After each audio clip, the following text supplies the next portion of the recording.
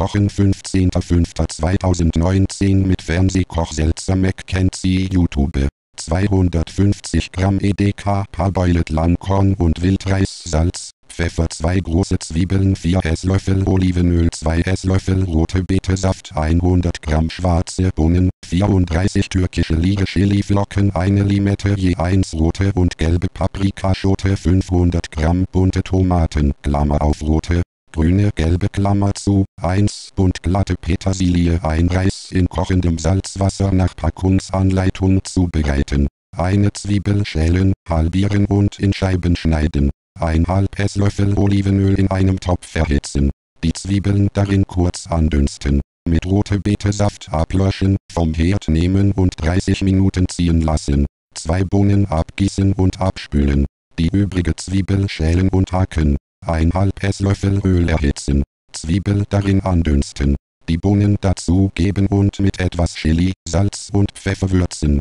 Bohnen mit einer Gabel zerdrücken, dann abkühlen lassen. 3 Limette auspressen. Übriges Olivenöl Klammer auf 3 Esslöffel Klammer zu, mit restlichen Chiliflocken Salz, Pfeffer und Limettensaft vermischen. Die Paprika waschen halbieren Samen und Strunk herauslösen, in Scheiben schneiden. Die Tomaten waschen halbieren vierteln oder in Scheiben schneiden. 4 Reis auflockern und mit Paprika, Tomaten und Zwiebeln in eine Schüssel geben. Mit Vinaigrette beträufeln und vermischen. Reissalat ca. 15 Minuten ziehen lassen. Petersilienblättchen abzupfen. Reissalat mit Bohnenmus anrichten. Mit Petersilie bestreut servieren. 300 Gramm Süßkartoffeln Salz, Pfeffer 2 rote Zwiebeln 3 bis 4 Esslöffel Olivenöl 2 Esslöffel Balsamico-Essig eine Knoblauchzehe eine türkische Liga Orangenabrieb 2 Esslöffel gut und günstig Condimento Bianco eine türkische Liga, eingelegte grüne Pfefferkörner 3 Stiele Bohnenkraut 100 Gramm Rucola 1,5 Granatapfel eine Süßkartoffeln, in kochendem Salzwasser circa 30 Minuten gar kochen Anschließend abgießen und auskühlen lassen Zwiebeln schälen und in Spalten schneiden. In ein Esslöffel Olivenöl andünsten.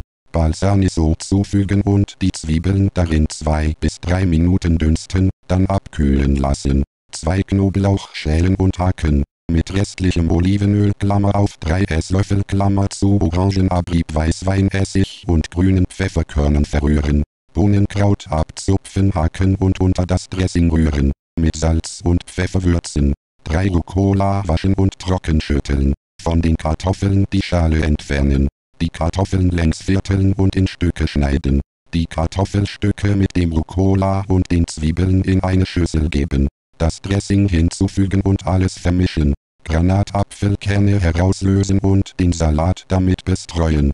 2 Bund Radieschen 1 rote Zwiebel 1 grüne Peperoni 3 Esslöffel EDK Bio natives Sonnenblumenöl eine türkische Liga Senf eine türkische Liga Agavendicksaft Schale und Saft im 1 Bio Zitrone 2 Esslöffel Apfelessig Salz 5 2 Avocados 1 grüne Kopfsalat 1 Bund Koriander 1 die Radieschen waschen putzen und in Scheiben hobeln Zwiebel schälen halbiere und in Scheiben schneiden die Peperoni in dicke Ringe schneiden. Für das Dressing Sonnenblumenöl mit Senf, Agavendicksaft, Zitronenschale und Apfelessig verquirlen. Mit Salz und Pfeffer würzen. Zwei Avocados halbieren und den Stein herauslösen. Fruchtfleisch aus der Schale heben längs in dünne Spalten schneiden. Die Spalten mit Zitronensaft vermischen. Den Salat teilen, Blätter waschen und trocken schütteln. Salatblätter kleiner zupfen. Drei Korianderblättchen abzupfen den Salat mit Radieschen, Zwiebeln und Peperoni in eine Schüssel geben, Avocado und Dressing zugeben und vorsichtig untermischen. Den Radieschen-Avocado-Salat mit Koriander bestreut servieren. 100 Gramm gut und günstig Pinienkerne 50 Gramm Parmesan 1 Bund Basilikum 80 Milliliter Olivenöl Salz Pfeffer für den Salat 4 Pfirsiche 300 Gramm bunte Kirschtomaten 2 Esslöffel Weißweinessig 20 Milliliter Olivenöl eine türkische Liga Honig Salz Pfeffer 2 Burrata, Klammer auf Alternativ Mozzarella Klammer zu, 1 für das Pesto die Pinienkämme in eine Pfanne kurz anrösten herausnehmen und abkühlen lassen. Käse grob würfeln. Basilikumblättchen abzupfen, eine Handvoll beiseite stellen. Die Pinienkämme bis auf zwei Esslöffel mit dem Parmesan, dem Basilikum und dem Öl mit dem Pürierstab zu einem Pesto mixen. Mit Salz und Pfeffer abschmecken. Zwei Pfirsiche halbieren entsteinen und in 1 cm dicke Spalten schneiden. Die Kirschtomaten halbieren oder vierteln und mit den Pfirsichen mischen. Den Essig mit Olivenöl und Honig verquirlen. Mit Salz und Pfeffer würzen. Drei Pfirsiche und Tomaten mit dem Dressing mischen mit der Burrata auf eine Platte anrichten. Salat mit etwas Pesto beträufeln und mit übrigen Pinienkernen und Basilikumblättchen bestreuen. Das übrige Pesto dazu servieren. Zubereitung, circa 3.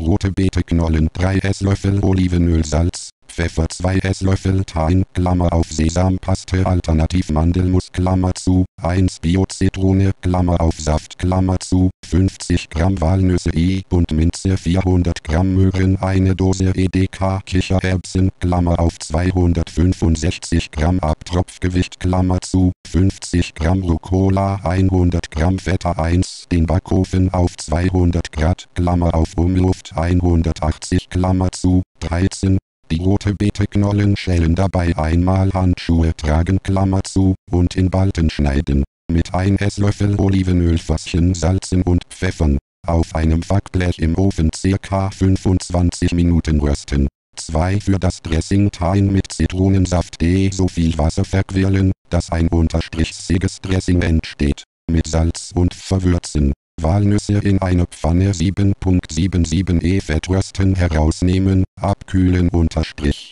Ehen und grob hacken. Minzblättchen, unterstrich pfen und hacken. Obst und Gemüse einkaufen EOS Netzeayamim. Allein in Deutschland fielen im Jahr 2016 18,2 Millionen Tonnen Verpackungsmüll an.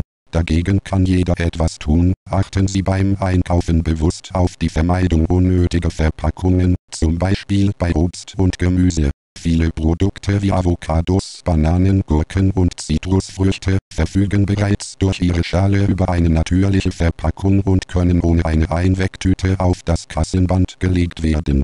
3 Schälen und in längliche Stücke minus 7. Eiden, mit restlichem Olivenöl Klammer auf 2 Esslöffel Klammer zu, in Pfanne 5 bis 6 Minuten braten, bis die gleich minus 7 gar sind. Mit Salz und Pfefferlen. Aus der Pfanne nehmen Möhren abkühlen lassen, die Pfanne wieder unterstrich E herstellen.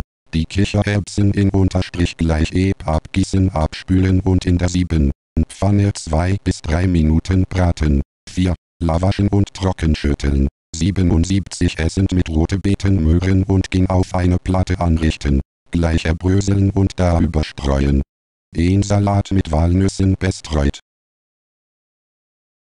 Für das Thai Curry 400 Gramm Rindfleisch, Klammer auf Rinderhüftsteak oder Filet Klammer zu, Saft von einer Limette 1 Esslöffel Erdnussöl 4 Esslöffel Sojasauce, eine türkische Lira flüssiger Honig 2 türkische Lira grüne Currypaste 1 große rote Zwiebel 1 Brokkoli 450 Gramm frische Zuckerschoten, 1 Esslöffel Sesamöl 150 Gramm junge Erbsen, tiefgefroren 400 ml Kokosmilch, eine türkische Liga Salz, eine türkische Liga Currypulver, eine frische Mango, 2 bis 3 Esslöffel Kokosraspel für die Beilage, 150 Gramm Quinoa Salz, 2 Lauchzwiebeln, 3 bis 4 Stängel frischer Koriander, eine türkische Liga Sesamöl, 1 Handvoll Cashewkerne, 1 das Fleisch in Streifen schneiden. Limette heiß abwaschen und auspressen. Saft Erdnussöl Sojasauce Honig und grüne Currypaste mit 1 Esslöffel Wasser verrühren und das Fleisch für 15 Minuten marinieren.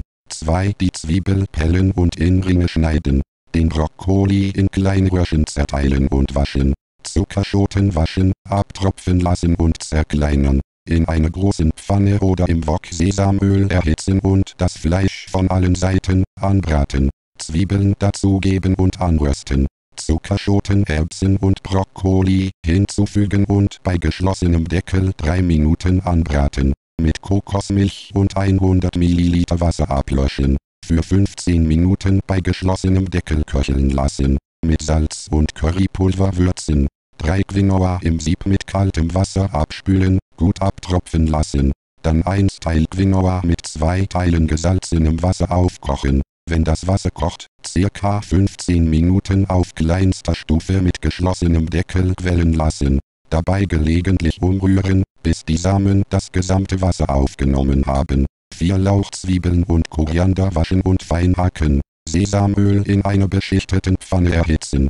Quinoa, Lauchzwiebeln, Koriander und Cashewkerne 2 bis 3 Minuten anschwitzen. Mango schälen, Fruchtfleisch vom Kern herunterschneiden und grob zerkleinern. Quinoa und Thai Curry mit Kokosraspeln und Mango garniert servieren.